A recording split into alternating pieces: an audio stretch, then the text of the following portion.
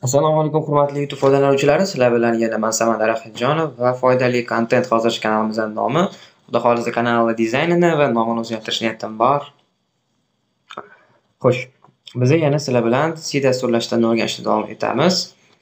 Agar videolarimiz yoqayotgan bo'lsa, ulardan biron bir narsa olayotgan bo'lsangiz, e, bizani like va podpiska bilan qo'llab-quvvatlashingizni so'raymiz. Bu shunchaki qilayotgan ishimizni qo'llab-quvvatlash uchungina bo'ladi, boshqa narsa. Chunki hozircha prosmotlarimiz hali 16 ta, 8 ta, 9 tadan oshgani yo'q.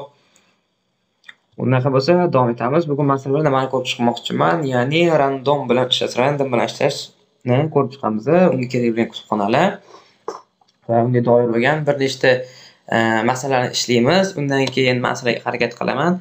Massiv mavzusini ham boshlaymiz o'sha chunki juda ham orqaga olib ketamiz. Atigi ikkitagina dars chiqaraman, ikkitagina video chiqaraman. Unda boshlaylik. Birinchi bo'lib video studiyani ochib olamiz. Har doimgidek Visual studiya. Faylimiz ochildi уже. Fayl ham ochilgan ekan. Agar esdan chiqqanmiz, qaytadan ochamiz fayl. Ya'ni kimdir ochib esdan chiqib qolgan bo'lishi mumkin. New file tilni tanlaymiz. Mana sahifani qo'yamiz. content. Sahifani qildik. Xo'p. Bizani har doimgidek ishlatadigan bitta kutubxonamiz bor edi bibliotekamiz ya'ni studio.h bu kiritish chiqarish operatorlari degandik ya'ni standart input output kutubxonasi. Endi bizga yana bitta kutubxona qo'shiladi. U nomi input.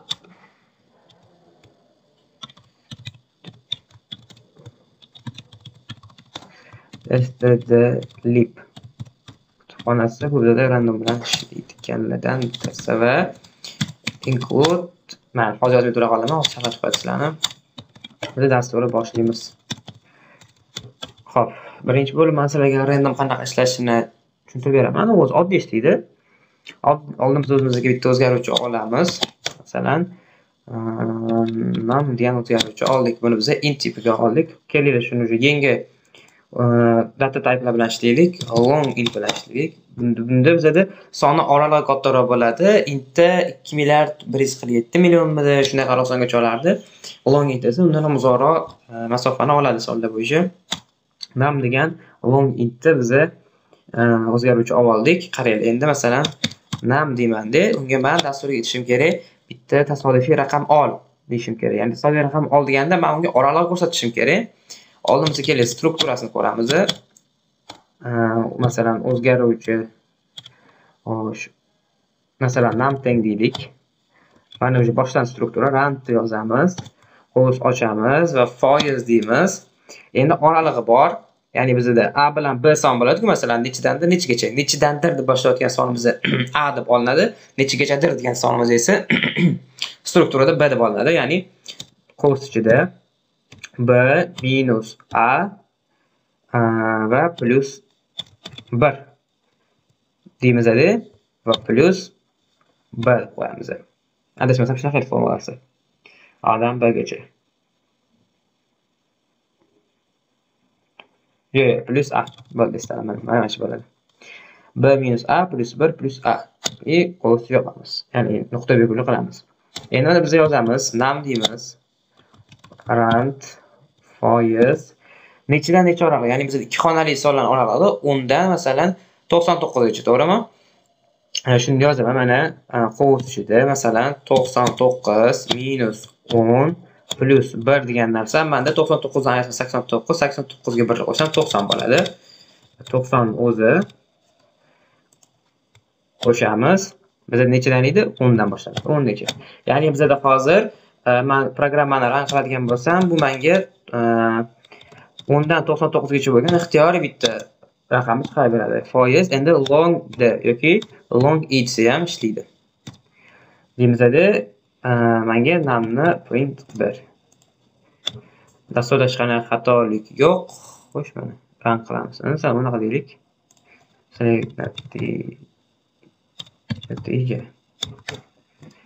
natija bitta enter slash ensure qo'yaylik. Bu bitta qator pastga tashladi run qilamiz. Natija 51 mana 51 sonni oldi. Endi qaranglar e'tibor bersanglar yana bir marta run qilaman. Yana 51 yana 51 yana 51 chiqaveradi ko'rasan. Man e, shunaqangi narsa qilishim kerakki endi har safar run qilganimda menga har xil son chiqarib berish kerak. Uning uchun bizaga yana bitta kutubxona qo'shiladi. Bu bizada kod hash. Mana mana shu kutubxona. Bizaga keyin mana bittasini qo'shib qo'yamiz. Srand time deymanda ichiga nol yozib qo'yib bitta shu nuqtaga virgulni qilib qo'ysam mana natija qirq besh ko'rdinglar yana martadan qilaman. Natija ellik besh. Yana bittadan qilaman. Natija yetmish to'rt. Har safar har xil sonni olyapti xo'sh sizlarda manimcha kutubxonalar yangi kutubxona mana bu random kutubxonasi. Bu esa hmm, tasodiflarni farqi qo'yadi. Tasodiflarni tasodifiylashtiradi deylik tasodifiylashtiradi mana bizada hozircha ikkita yangi kutubxonani o'rgandik biza. Runtime ham esinglardan chiqarmanglar va esinglardan chiqarmaslik kerak bo'lgan mana bu formula ham bor chunki busiz random ishlamaydi. Ya'ni c randomni mana shu formula orqali tushunadi. Faqatgina shu formula. Agar biz hozir shunchaki mana buni o'ndan to'qson to'qqizgacha deb qo'yganimizda даже xato ham bo'ladida hozir o'n plyus to'qson to'qqiz bo'lib turibdi bir yuz to'qson chiqib qoldi. Demak ko'rsana yuzdan oshib ketib qoldi misol bizada hozir bu qaysi oraliq olyapti qaysi sonni masalan? To'qson to'qqizgacha ekan. Demak ayimiz to'qson to'qqiz a minus b. Ishqilib bir son chiqdi hozir. Men ham joyidan o'sha uchun hisoblamadim. Ho'p bizda masalan hozir buni tushungan bo'lsak biz endi bitta masala ishlab ko'ramiz. Mana o'chirib tashlayman o'chirib tashlayman nima masala ishlaymiz? Ho'p.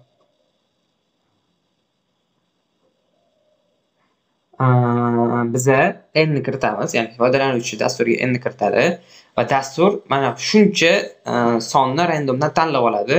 Va agar o'sha sonlarni endi bu juft toqqa ajratib berish kerak.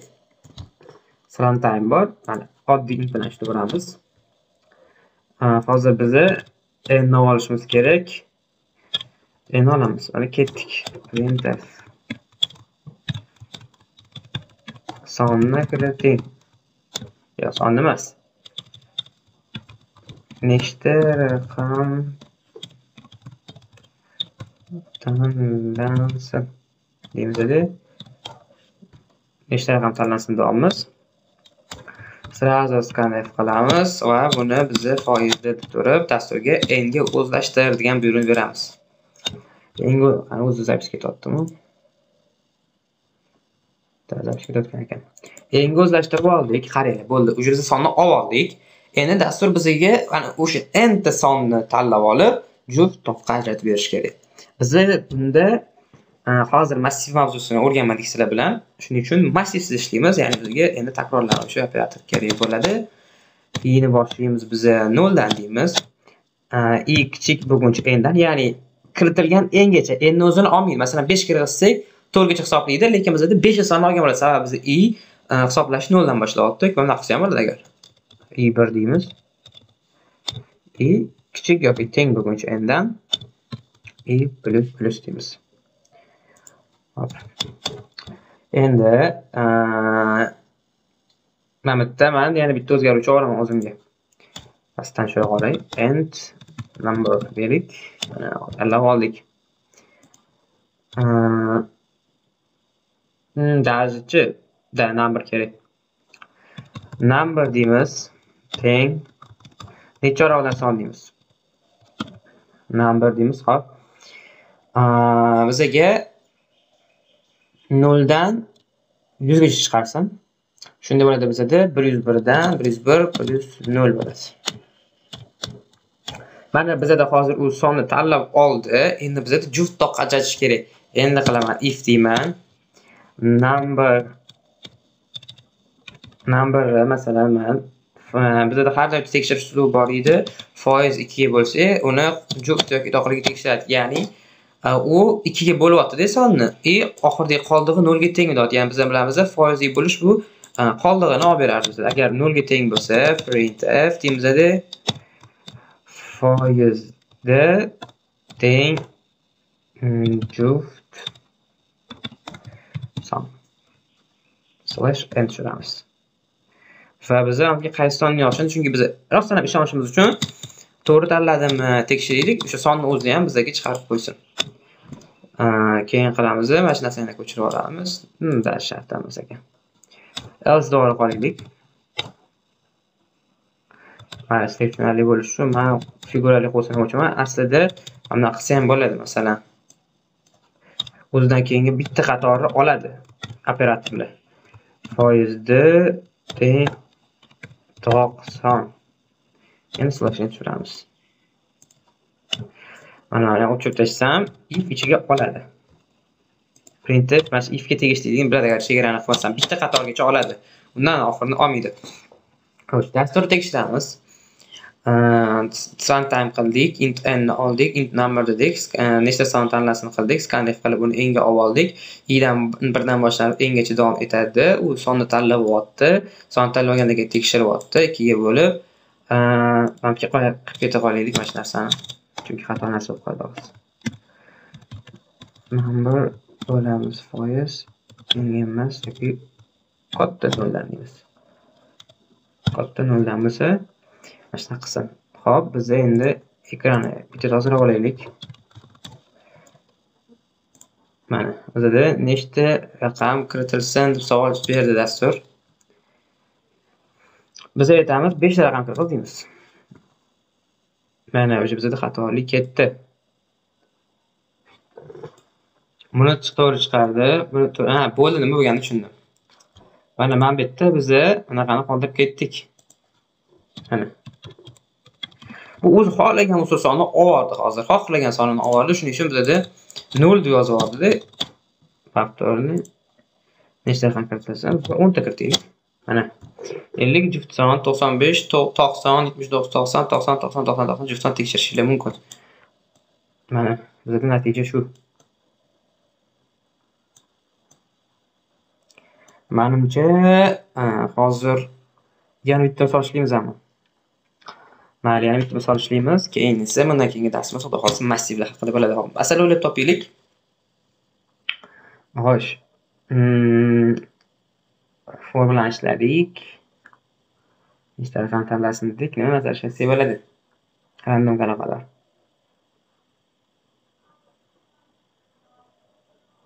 hmm. o'zi randomga boshqa masala ishlagan bo'lmasa ekan. Hozir yana sertifikatli bo'ladi mayli darsimiz darsimizni shu yerda to'xtatamiz random random bo'lgan darsimiz tugadi va ushbu tugatib oldik agar video yoqqan bo'lsa biron bir foydali narsa olgan bo'lsanglar layk подписка va kommentariyada istalgan savollarni yozib qoldirishinglar mumkin yordam qo'limizdan kelsa yordam beramiz bemalol sizlar bilan samara Xajonova foydali kontent kanali bo'ldi xayr salomat bo'lasizlar